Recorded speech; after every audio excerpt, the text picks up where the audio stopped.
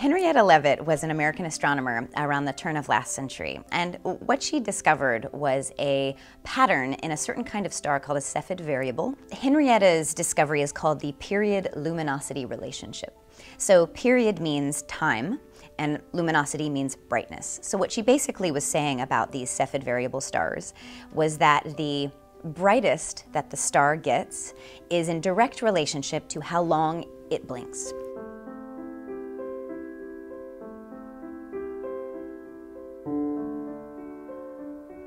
The precise way of saying it is that Henrietta helped us measure the universe.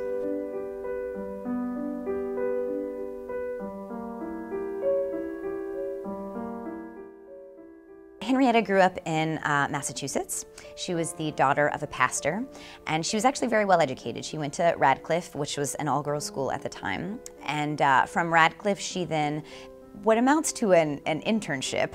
she, she came to, to Harvard Observatory and was basically a secretary there, um, but a secretary for astronomers.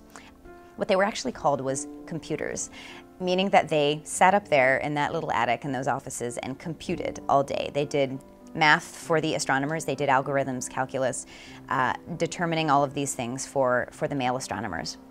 Harvard had what was at the time the, the largest telescope in the nation, it might have been the world, called the Great Refractor Telescope. Uh, and the uh, interesting thing is that the women were not allowed to use it. It was a male-only instrument. So what Henrietta actually did was uh, she analyzed what was called star plates, which were basically window pane sized pieces of glass, uh, photographs from the telescope. They basically attached a camera to the end of the telescope and took pictures of the sky. So when she was looking at these photographs, she was measuring uh, the exact brightness, the size, uh, the amount of light that was on the, on the glass from these stars. She was looking at their distance from one another. She was looking at the brightness. Henrietta um, developed uh, a bit of hearing loss when she was in college. And she kind of made a joke that the reason why she was so good at this meticulous work that required such intense focus was that she could take her hearing aid out and just kind of block out the world. What we know about her is that she was just delightful and lovely and um, funny. She had a great sense of humor. She was a great friend.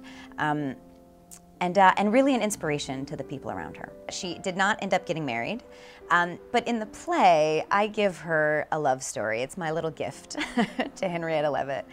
Henrietta um, unfortunately died way too young. She died of ovarian cancer. Uh, about two years after she passed away, there was a man who was a nominator for the Nobel Prizes, and he called Harvard Observatory where she worked and basically wanted to nominate her for a Nobel Prize in physics, uh, not knowing that she'd already passed away. And Nobel Prizes aren't given posthumously. So it, it kind of breaks my heart to think that she might have been a Nobel Prize winning astronomer. There's actually um, a lunar crater named in her honor and an asteroid named in her honor. Uh, and a lot of people are trying to get the period luminosity relation to be named Henrietta's Law. So I, I think there is a new movement around Henrietta uh, to acknowledge her work. She's not just a, an important woman, she's an important human, an important American. And I think her story um, can be an example for us all.